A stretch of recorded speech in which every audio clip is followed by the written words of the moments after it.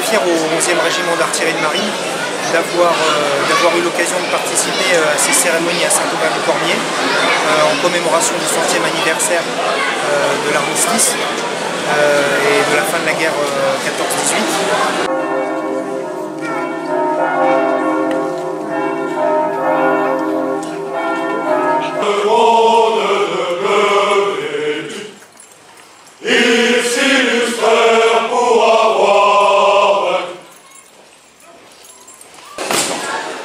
Suis vraiment très fier de cette euh, cérémonie euh, du 11 novembre, euh, ce centenaire, avec une grande participation de la population.